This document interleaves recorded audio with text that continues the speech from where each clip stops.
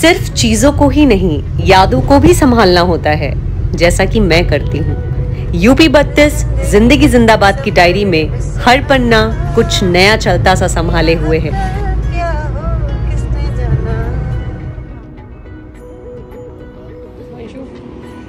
क्या नमस्कार YouTube परिवार मैं हूँ प्रतिभा और बहुत बहुत स्वागत करती हूँ आपका आपके अपने चैनल यूपी बत्तीस ज़िंदगी जिंदाबाद में। हर सफ़र कहीं पहुँचने की जल्दी ही नहीं होता हर सफ़र एक याद भी होता है। तो उठा लिए हैं बस्ते और नाप रहे हैं कुछ नए रस्ते। थक गई मैं। हाल फ़िलहाल ही होली गुजरी है रंग बिखरे पर परिवार कुछ यहाँ कुछ वहाँ। तो त्योहार पे घर नहीं छोड़ा जाता ऐसा कहा गया था। पर सैटरडे संडे तो अपना था इसलिए बस निकल पड़े। नेविगेशन देख के इतना थक गई हूँ कि मुझे लग रहा है कि मुझे सोने को मिल जाए तो बेहतर होगा। व्यू देखिए व्यू बेहतरीन व्यू लेकिन मुझे इससे कोई वो नहीं हो रहा है मेरे को नींद नहीं आ रही है। माँ पापा हमसे पहले निकल चुके हैं और शायद पहुँच भी जाएँगे जल्दी और दो घंटे हैं हम लेट और एज यूजुअल इन लोगों के ऊपर नहीं सारी पर्ची फटेगी मुझ पे। क्योंकि कहा जाएगा इसकी ब्लॉगिंग के चक्कर में हम लेट हुए। बट ऐसा था नहीं हम ऑलरेडी घर से लेट ही निकले हैं। क्या खाना है? जो खाना उधर से रख देंगे। सुई ये गुंडी गुड मॉर्निंग छोटी। गपशप मारते लोकेशन का आनंद लेते और अपने अपने एक्सपीरियंसेस को साझा करते हुए सफ़र का मज़ा ले रहे हैं। अरे हाँ और एक फेवरेट बात तो मैं बताना ही भूल गई खाना बहुत लाजवाब था। तो एग्जैक्टली exactly जा रहे हैं हम काठ गोदाम और स्टे करेंगे हल्द्वानी में। वहाँ पर हमें दर्शन करने हैं शीतला माता मंदिर के। जी हाँ हम लोग घर से निकल पड़े हैं शीतला माता मंदिर के दर्शन के लिए। एक बहुत छोटी सी लेकिन बहुत इंटरेस्टिंग ट्रिप है।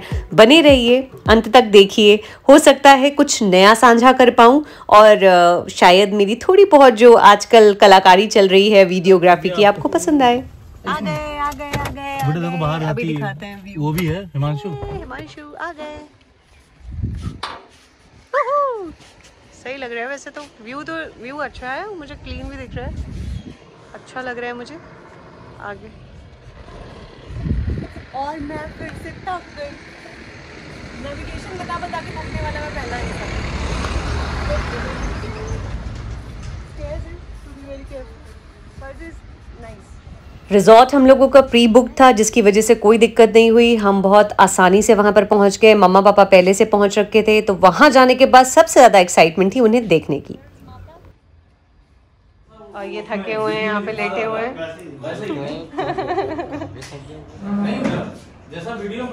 नहीं नहीं बहुत अच्छी है। एरिया भी अच्छा है। सब अपनी अपनी बातें और गप मारने में बिज़ी फ़ोटो खींच दो किसकी चाबी बोल रहा है भाई? तूने रखी है ना कोई है नहीं। हाँ अरे ठीक है यूपी बत्तीस ज़िंदगी जिंदाबाद बोल। यूपी बत्तीस ज़िंदगी जिंदाबाद। पीछे मन थोड़ा जाना गड्ढा हो जाएगा।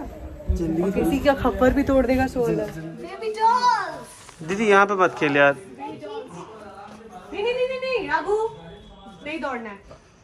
राघव और पीछे देख के आते क्या सही है वैसे मुझे तो सही लगी प्रॉपर्टी बढ़िया। इस बार आम में हर जगह बहुत अच्छा आया हुआ है। आम बोरा गया हमारा। आ नहीं, बोरा गया हमारा। नहीं नहीं नहीं। गलत बात रघु रघु वापस आओ। वापस आओ। हो हाँ ठीक नन्ना। यहाँ पे नन्ना का मतलब ये नहीं बेटा ये सब है। किसने कैसे सिखाया आपको बेटा? किसने सिखाया है वीडियो कैप्चर कर रहा है? हाँ। व्यू दिखा ना कितना कितना ब्यूटीफुल व्यू है। ये देख इधर पूरा बात। इधर का देखो। यार ऐसी जगह पे बस जाए इंसान। चीनी वीनी पड़ोसी से मांग लो। गाड़ी खड़ी करने की जगह गाड़ी है। खड़ी करने की जगह है ही। खेत अपना तो छोटा सा गार्डनिंग की है। इनसे पूछो इनकी लड़की है कि नहीं है। कम से कम तेरा ससुराल रहेगा तो हमें आने को तो। हाँ। क्या सिखाओगे? बच्चों को यहीं से फांद के गए हो। और यहाँ से राघव ने रास्ता ईजाद किया है मैं भी ऐसे जाने वाली गिर गई थी मैं। चलो चलो आगे। ओके नो डाउट जहाँ पे हम रुके हुए हैं ये बहुत ही प्यारी प्रॉपर्टी है जगह बहुत अच्छी है लॉन एरिया बहुत अच्छा है। आसपास जो जगह है वो भी देखने लायक है। हर एंगल से आप एक नया व्यू देख सकते हैं।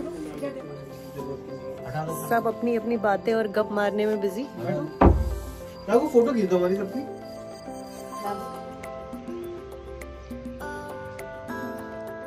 It's a beautiful blessed morning.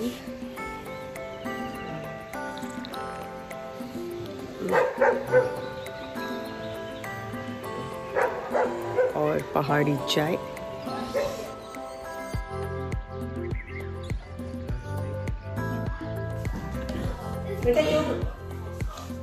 कैसे हो रहे तुम्हारे लोवर राघव? वीडियो बना रहे तुम अपना पिंक लिपस्टिक ध्यान दीजिए। घोड़े की पिंक की तरह। मुँह कर ली पिंक मम्मी इधर तो राघव और पापा के साथ होगा। देख ना वो देखो कैसे साफ़ हो रही है गाड़ी। गाड़ी तो साफ़ होती दिख रही पापा डाकू पर है। विचार आ रहा है इससे कुछ कि अपनी गाड़ी भी ऐसे साफ़ करके बैठनी चाहिए?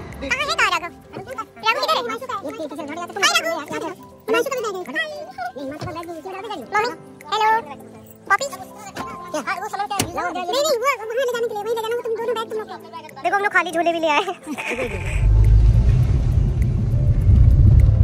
बोलो शीतला माता की जय। देखिए पापा जी ये भी रेस्टोरेंट है देखिए जहाँ से हम ठहरे हुए हैं वहाँ से मंदिर की दूरी कुल 15 या 18 किलोमीटर है।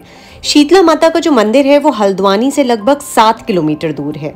नैनीताल रोड पर काठगोदाम नाम की जगह में है। मंदिर एक पहाड़ की चोटी पे बना हुआ है जो रोड से भी 10-15 मिनट की ऊपर चढ़ाई पर स्थित है। अमूमन देखा जाए तो उत्तराखंड को आजकल ट्रैवल के एरियाज़ के लिए अगर देखा जाए तो पहली चॉइस माना जाता है। भीड़ भी कुछ उसी तरीके से थी, बहुत ज़्यादा क्राउडी है, बहुत ज़्यादा नॉइज़ और पॉल्यूशन भी हमें मिला काठगोदाम और हल्द्वानी में। तो मैं मंदिर की बात कर रही हूँ कि प्रकृति की गोद में बैठी हुई है माँ। सुंदर कहानियों, मान्यताओं से सजा हुआ है मंदिर और चारों तरफ़ हरियाली ही हरियाली है। तो रास्ता तय करते करते पहुँचने की कागार पे on the right ये रेस्टोरेंट मंदिर का गेट तो नहीं पेट्रोल पंप दिख रहा है मुझे। वो है वो है वो है। वो है वो है वो है। वो दिख रहा है ना ऊपर देखो दिख रहा है वहाँ।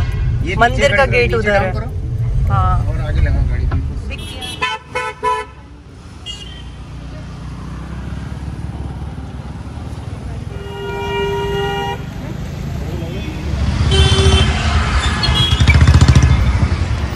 finally arrived to the destination.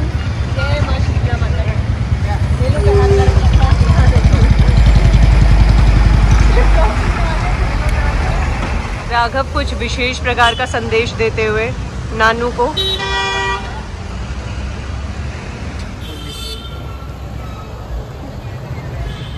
देखो। तो ये पूरी जो चढ़ाई है ये कुछ 15 मिनट की चढ़ाई है आधा तो इसे फटाफट पार करते हैं और मंदिर में दर्शन करते हैं। बहुत सारे बंदर हैं जिसकी वजह से छोटे छोटे क्लिपिंग्स लेंगे जहाँ पे बहुत सारे बंदर ना हो क्योंकि डर लग रहा है फ़ोन छीन के ले गए तो वापस नहीं करेंगे।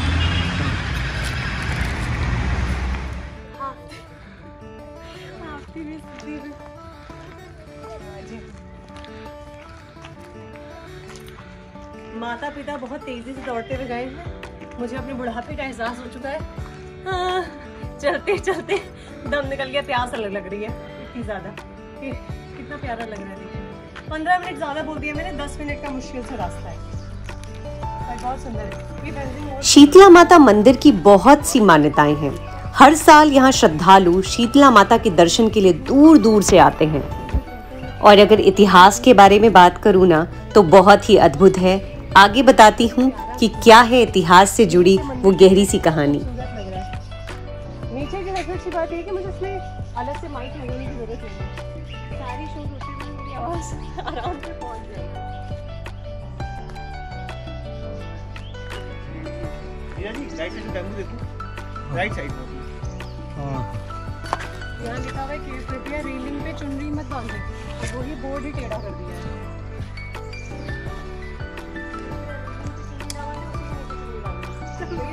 ये होते हैं लोहा लेने वाले भारतीय। लिखा है रेलिंग पे नीचे चुनरी मत बांधे उसी के नीचे चुनरी बांधे। ऐसे कैसे? चुनरी तो बंधेगी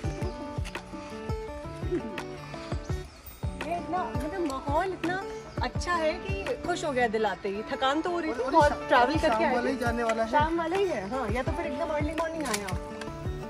कहते हैं कई साल पहले भीमताल नाम की जगह जो नैनीताल में ही स्थित है वहाँ के पंडित बनारस से जाकर शीतला माता की मूर्ति को वहाँ से लेकर भीमताल अपने गाँव में स्थापित करने के लिए ला रहे थे। जैसे ही यहाँ से काठगोदाम रानी बाग जब वो पहुँचे तो बहुत रात हो चुकी थी और वहाँ से आगे आते समय, उस समय पहाड़ों का रास्ता बहुत कठिन हुआ करता था। तो उन्होंने सोचा कि रानी बाग के गुलाब घाटी में ही विश्राम कर लिया जाए। रात को विश्राम करते समय एक व्यक्ति को सपने में शीतला माता ने दर्शन देकर मंदिर को यहीं स्थापित करने का आदेश दिया। उस व्यक्ति ने सुबह उठकर अपने सपने की बात सबको बतलाई, पर बाकी लोगों को उसकी बात का भरोसा ही नहीं हुआ। उसने अपने साथियों को आगे की यात्रा करने से पहले मूर्ति उठाने में मदद करने की कोशिश करी। पर यह क्या? मूर्ति उठाना तो दूर, मूर्ति अपनी जगह से हिली भी नहीं। तब बाकी लोगों को उस व्यक्ति के सपने पर भरोसा हुआ। फिर माता द्वारा आदेशित जगह पर मूर्ति को स्थापित कर दिया गया, जो कि काठगोदाम में शीतला देवी माता के मंदिर से विख्यात है। तो बोलो शीतला माता की जय। आप जैसे ही मंदिर परिसर में अंदर जाते हैं तो आपको कुछ प्रमुख भगवानों की मूर्तियाँ मिलती हैं। उनको देख करके भी आपका मन अत्यंत प्रसन्न हो जाता है।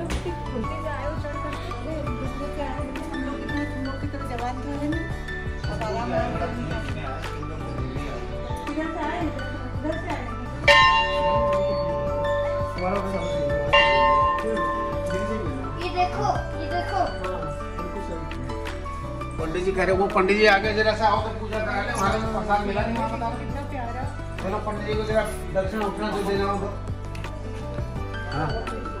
आ जाओ आ जाओ सब लोग आ जाओ इधर ही आ जाओ पूजा करा। प्रसाद करे मिलेगी। हाँ। दो पंडित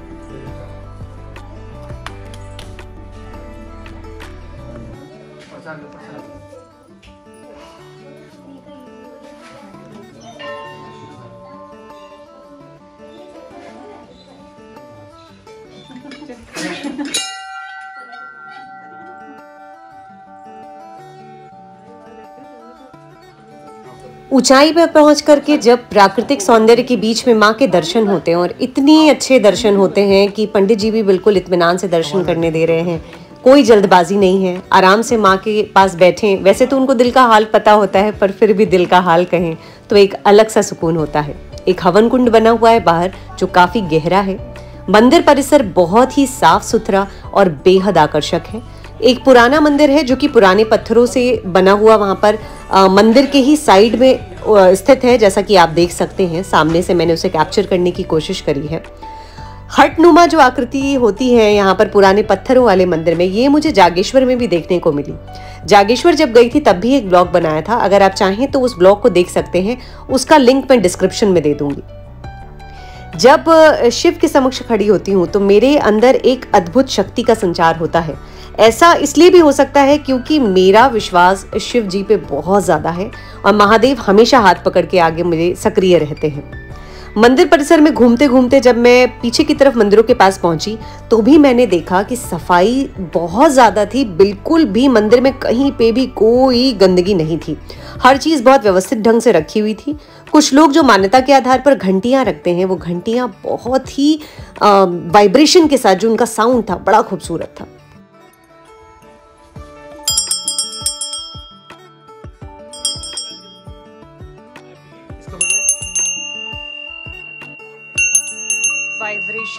बहुत अच्छे हैं। अंदर तक जा रहे हैं। मैंने बहुत देखा मज़ा आता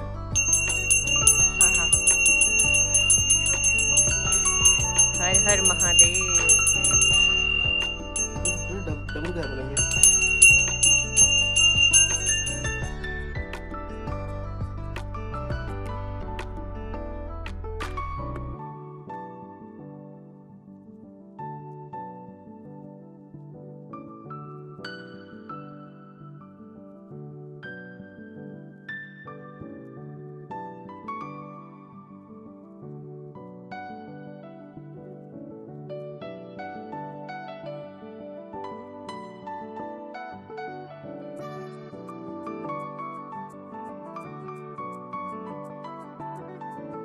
एक अजीब सा ना रिलैक्सेशन है यहाँ पे। एक मेडिटेशन के लिए भी और आंतरिक संतोष के लिए भी। मंदिर परिसर हमेशा बहुत खूबसूरत होते हैं। वो कहीं पे भी प्लेन्स में या फिर पहाड़ में। उत्तराखंड की खासियत यह है कि इसे देवभूमि कहा जाता है। इसलिए क्योंकि यहाँ पर सबसे ज़्यादा मंदिर मिलते हैं। इस मंदिर में बंदर भी उतने ही हैं, जैसे कि वहाँ पेड़ों पे उछलते हुए आप देख सकते हो। और किसी चीज़ में कोई नुकसान नहीं पहुँचाते। खाने की चीज़ देखते हैं तो आपके पास खाने के लिए ज़रूर आते हैं। तो मेरे पास तो ऐसा कुछ है नहीं अभी ऐसा इनको खिलाने के लिए। लेकिन और कोई नुकसान नहीं। बाकी घूमना और यहाँ परिसर में आनंद लेना मेडिटेशन शांति, बहुत अच्छा लग रहा है। शाम का समय है और रात हो रही है। आप देख रहे हो ऊपर देखो, रोशनी जा जा सी रही है। लेकिन दर्शन हो गए, ये बड़ी बात है। एक छोटा सा ट्रिप था। लेकिन आना और जब तक उनकी कृपा नहीं होगी, यहाँ तक पहुँच पाना संभव नहीं। बने रहिए।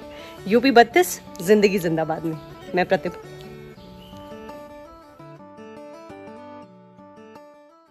मैंने तो ये आनंद वहाँ जाकर लिया और अगर आप आसपास कहीं रहते हैं या कोई विशेष प्रोग्राम बनाते हैं, जब आप अपनी डेली लाइफ से हट करके कुछ अलग एक्सपीरियंस करना चाहते हैं तो मुझे लगता है आध्यात्म से बेहतर कुछ भी नहीं हो सकता।